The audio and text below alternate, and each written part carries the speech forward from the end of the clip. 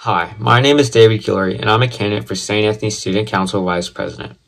Let me tell you a little about myself. I'm currently Energy and Environment Chairman, and I'll be inducted into NJHS this spring. I'm hardworking and work well with others, which is a crucial trait for the Vice President position because I'll be working with the President and the other officers.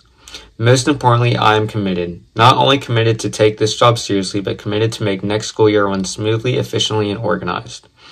This is your chance to vote for a vice president that you'll look back and say, my 2020-21 school year was amazing. Every vote counts, so now it's up to you, so please vote David Guillory for vice president. You won't regret it. Thank you.